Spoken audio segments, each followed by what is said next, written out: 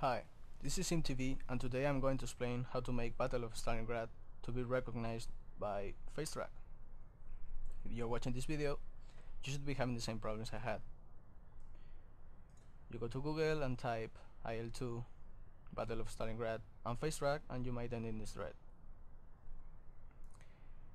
You can see here that this guy says that this is the line that will make it work. But here you see that it worked for this guy but it didn't for this other guy. Why is it working for this guy and it isn't working for this other guy? Let's see that. You come to the CSV file under settings you open it with Excel you will see here a bunch of lines.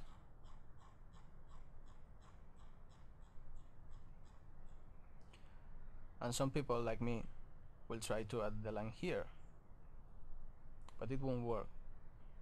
Why if you see this game it's the game number 465 and it's under the row 466 so as IL2 is the game 484 it should be in the in the row 485 if you do this properly